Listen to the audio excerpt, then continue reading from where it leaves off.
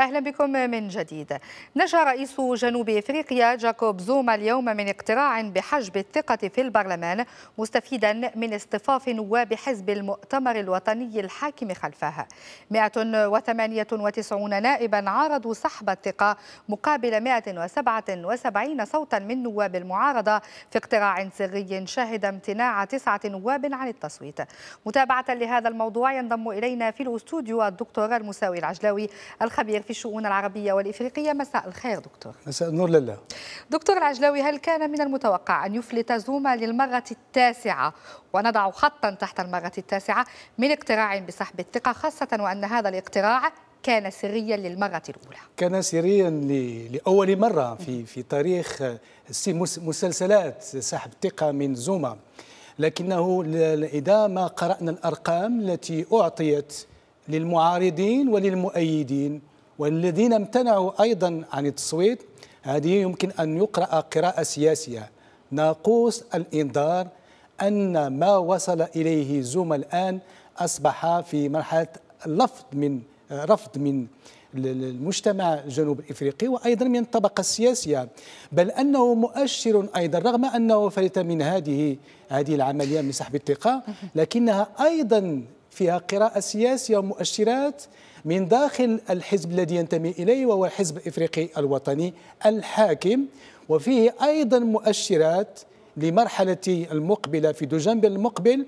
سيحدد الحزب من سيرشح في 2019 وبالتالي لا يجب أن نقرأ هذه الأرقام فقط سحب أو عدم سحب.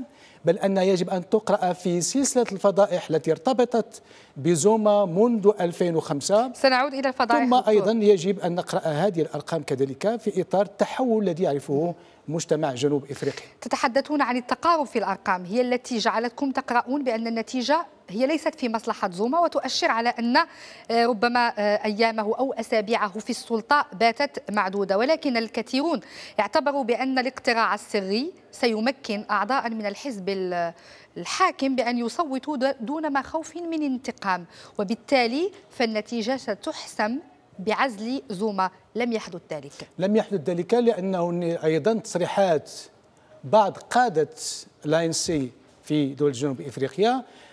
كان هناك اختيار في من خلال هذه التصريحات.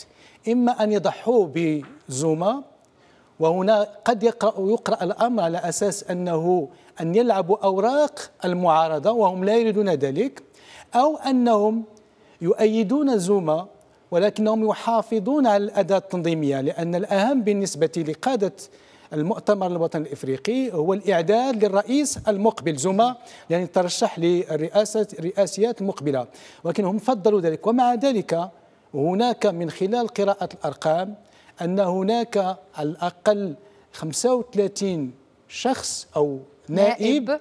لم يصوتوا لصالح زوما وهذا سؤال كبير. كذلك لا يجب أن ننسى أن أحد آه، حلفاء المؤتمر الوطني الإفريقي وهو الحزب الشيوعي الذي رغم انتقاداته لزوما رغم دعوته للمظاهرات في الشارع رفض أن تسحب الثقة. من زوما. فبالتالي هي مسألة لم تسحب الثقة لكنها أيضا مؤشر على نهاية زوما السياسية. رئيسة البرلمان الإفريقي أو الجنوب إفريقي بالأمس قالت بأن الاقتراع السري سيمنح فرصة لمعارضي زوما من أجل التصويت دون ما وقوع أعمال انتقامية. كيف نفهم الأمر؟ يعني إلى أي حد خيار الاقتراع السري سيكون مريحا؟ فقط, و... فقط سيدتي أطلب منك أن تعيدي الصور لاجتماعات البرلمان الإفريقي. وتلك المجموعة التي دائما تدخل عندها لباس أحمر وهم جماعة جوليوس مالوما الذي كان في شبيبة المؤتمر الوطني الإفريقي إضافة إلى التحالف الديمقراطي المعارض وهو القوي وهو القوة القادمة في دولة جنوب إفريقيا أن هناك نوع من كانت هناك انتقادات على أساس التصويت باليد مرفوعة معناه أن بعض النواب يريدون أن يظهروا موقفهم أو على الأقل يعبروا عن موقفهم لكن قوة القيادة قوة الحزب. يعني المؤتمر الوطني الإفريقي هو الذي يجعل بعض النواب يشعرون بنوع من الخوف أو الخجل من أن يصوتوا على ضد رئيس الحزب.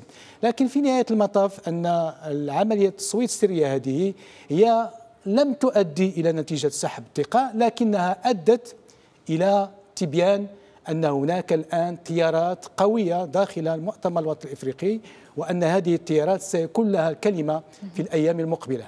طيب ماذا عن كلمة الشع... الشع... الشارع الجنوب إفريقي؟ الشارع الجنوب إفريقي هناك فئات واسعة منه بدأت تتعبأ من أجل ربما أن تطلق موجة احتجاجات وتظاهر ولا حتى بشير آه، هذه أو هذا المعطى في الشارع الجنوب إفريقي في عدد من المدن. هل الأمور مرشحة للتطور في هذا الاتجاه في قادم الأيام؟ كانت ردود فعل قوية مباشرة بعد الإعلان عن النتائج كانت هناك تظاهرات إشعال نار في العجلات المطاطية. هناك نوع من التدخلات في بعض المواقع والمحطات التلفزية على أساس أن هناك جنوب إفريقيا وصلت إلى مستوى من الرداءة لأنه السؤال كبير. لماذا هذه المحاولات من سحب الثقة من هذا الرجل الذي دفع به إلى الواجهة من لدن نيلسون مانديلا ثم لكنه انقلب على نيلسون مانديلا مع تابو مبيكي كالذئاب التي تسمى الذئاب الصغيرة التي دفعت الرجل الكبير نيلسون مانديلا إلى التنحي عن السلطة في 1994 ثم بدأت تأخذ صور معه على أساس كالقطط السمينة فقط للتوظيف الإعلامي. لكن في نفس الوقت أن هذا الرجل زوما ارتبط بقضايا الرشوة قضايا فساد, فساد مالي قضايا فساد أخلاقي أيضا. هذه لا يجب أن ننسى واعترف بذلك.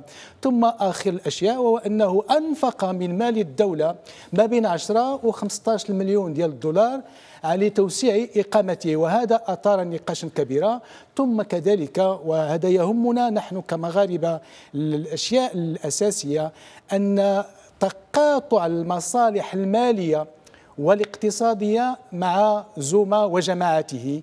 مثلا أنه هناك مصالح لعائلة دون أن أذكر اسمها هي القوية متمسكة بصناعة السلاح بتجارة السلاح بكل ما يمكن أن يتعلق بالدولة بالدول الإفريقية.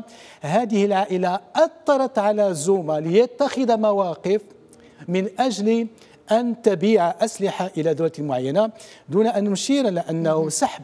مثلا أو اعتراف بجبهه البوليزاريو في 2004 كان بصفقة سلاح من 4 المليار. هذه العائلة وراء هذه الصفقة. ثم من باب الصدفة أن تكون ابنة زوما رئيسة شركة اسمها سحرا كمبيوتر وأن هذا التناقض في المصالح الاقتصادية أو التقاطعات في المصالح الاقتصادية والسياسية هي التي تفسر بعض المواقف السياسية. هناك نوع من هيمنة الشركات الاقتصادية على السياسي زوما لعب هذا الدور. هل هذا مرتبط بشخص زوما أو أنه مرتبط بمنطق عمل حزب لا وتحول الحزب الوطني الإفريقي تحول. لم يعد ذلك الحزب الذي ارتبط بناصر المنديلا بالنضال ضد, ضد الأبرتايد ضد الأبرتايد الميز العنصري بل أنه أصبح من كبار تجار المفسدين حتى الشارع. كان ينتقد السيارات الفارهة الإقامات الفارهة لم تعد المؤتمر ولم يعد المؤتمر الوطني الإفريقي ذلك الحزب المناضل بل أصبح واجهة لتجار الأسلحة بالخصوص وهذا ما دفع مثلا أن زوما أن يظهر في هذا الموقف. ثم لا ننسى كذلك آه، هناك رؤية كانت من من من حسن الحظ أن لم تنجح خطة لدولة جنوب إفريقيا انعقد مؤتمر في 2012 من لدن هذا الحزب على أساس فصل شمال إفريقيا على جنوب إفريقيا ووظفت الورقة المغربية والنزاع المغربي الجزائري من أجل فرض موازين قوى جديدة داخل القارة الإفريقية. وهذا ما يفسر مثلا لماذا آه، نجح طابو بيكي وهو رئيس سابق لجنوب إفريقيا نجح في فصل جنوب السودان عن شمال السودان. ثم دخلت جيوش من المرتزقة ومن الجيش الجنوب إفريقي إلى دولة إفريقيا غرب إفريقيا التي الآن فيها صراع وسقط فيها شهداء مغاربة من قبعات الزرق.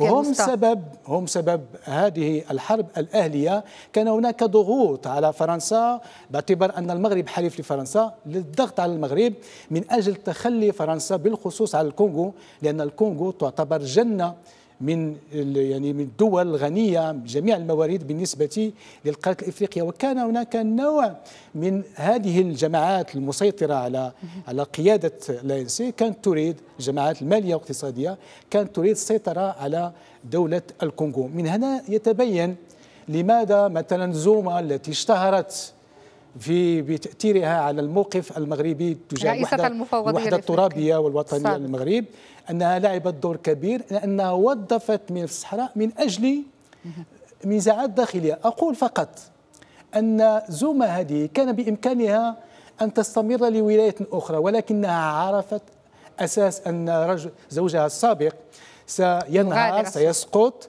ولذلك فضلت التخلي عن المفوضية الإفريقية والعودة إلى جنوب إفريقيا لترأس الحزب لكي تكون رئيسة في 2019 هذا هو سؤالي الموالي. الحزب يتأهب لاختيار زعيمه الجديد أو زعيمته الجديدة كما جاء على لسانكم. هل في حال تم الاتفاق على شخص زوما الزوجة السابقة ألن تتغير الأمور آه، وأن لا يتأثر المشهد السياسي لا في الداخل ولا كذلك آه، منطق العمل على المستوى الإقليمي والقاري أم أن هناك أشخاص آخرين مرشحين لا هناك الآن نائب الرئيس الذي هو مرشح الذي يجب أن يكون مرشح طبيعي المفروض. المفروض في دجنبر المقبل وحتى ما يجري الآن هو تأثير على الاختيارات التي ستكون في في دجنبر. لأن مجموعه زوما الرئيس جاكوب زوما تفضل مساندة دلاميني زوما رئيسة المفوضية السابقة. في حين أن جزء من داخل المؤتمر الوطني الإفريقي يفضل نائب الرئيس. لكن هذه الأمور طرحت سؤال كبير جدا. مدى التأثير ما يقع الآن في دول جنوب إفريقيا على المحيط الإقليمي وعلى القارة. لاحظنا منذ تقريبا سنتين تحول في موازين القوى في القارة الإفريقية وداخل الاتحاد الإفريقي هي التي أعطت للمغرب العودة إلى الاتحاد الإفريقي هي التي نقلت ثقل ما يجري في القارة من التجمعات الأنغلوفونية إلى التجمعات الفرنكوفونية. هذا ما جعل أن هناك تحولات. هذا ما جعل أيضا أن الجماعة التي تحيط بدولة جنوب إفريقيا وهي التي تمشي في فلك هذه الدولة لأنها توظف دائما مسألة الأبارتايد هذه الدول جميعها دون استثناء يا سيدتي هي دول برزت إلى الوجود في 1991 كلها توظف النضال من أجل التميز الميز العنصري من أجل القول لإفريقيا نحن ضد الميز العنصري. ولكن في نهاية المطاف الآن بدأ تفكك هذه الكتلة. هناك الرجل المترنح دوما. روبرت موغابي موغابي موزمبيق الذي يريد أن يترشح في 2018 وهو وصل من 60 ل 95 سنة. بدأ الآن هناك نوع من التفكك في العلاقة بين موغابي وبين دول جنوب إفريقيا. هناك الموزمبيق التي أعطتنا ذلك الرجل شيسانو الذي يقال بأنه ممثل الاتحاد الإفريقي في نزاع الصحراء. هناك ناميبيا التي بدأت تستقل نسبيا عن دوله جنوب إفريقيا. ثم هناك أنغولا التي أخذت استقلالها بشكل كبير عن دول جنوب إفريقيا. بقيت زامبيا التي أيضا تترنح في موقفها تجاه ملف الوحدة الترابية مرة مع المغرب مرة تقول أنها تمسك العصا من الوسط لأن هناك استثمارات مالية كبيرة لدولة جنوب إفريقيا في زامبيا بالتأكيد أن كل التحولات المقبلة ستؤثر ليس فقط في المحيط الإقليمي بل أيضا في وزن دولة جنوب إفريقيا في القارة الإفريقية في الاتحاد الإفريقي. وبالتأكيد أن ذلك سينعكس على العلاقات مع المغرب مع المغرب وأيضا يجي الموقف من من من نزاع الصحراء. ولكن أيضا على الأحزاب المغربية أن تبادر إلى ربط اتصال بالخصوص بالتحالف الديمقراطي. أيضا لا يجب أن ننسى أن حتى داخل المؤتمر الوطني الإفريقي هناك تيار يساند نسبيا المغرب. فاذا الحديث عن تحول في موازين القوى وانعكاسات ذلك في العلاقات البينية بين المغرب ودول جنوب إفريقيا أو تجاه ملف نزاع الصحراء يتطلب كذلك تحرك سياسي رسمي وأيضا شعبي من المغرب. لأنه كوني على يقين سيدتي على أساس أن ما يجري الآن في دولة جنوب إفريقيا سيعطي أو سيرفع الحز في المواقف التي تريد بعض الدول أن تعلن عنها كما فعلت مثلا سويسرلاند رغم أنها تقع في مجال مغلق لدول جنوب إفريقيا ولكنها أيدت الوحدة الترابية والوطنية للمغرب. والتحرك يجب أن يكون استباقيا قبل أن استراتيجيا يعني يجب أن تبحث في الأفق يعني من ال... ما ننتظروش 2019 تماما. يجب التحرك الآن وهناك ارتباط هناك علاقات هناك جامعات أساتذة جامعيين. يعني يجب التحرك نحو هذه الدولة لأنه إذا ما ربط وهذه هي المعادلة الأساسية. إذا ما ربط المغرب علاقات جيدة مع دولة جنوب إفريقيا ستتحرك ستتغير كثير من المعادلات ومن المقاييس أيضا.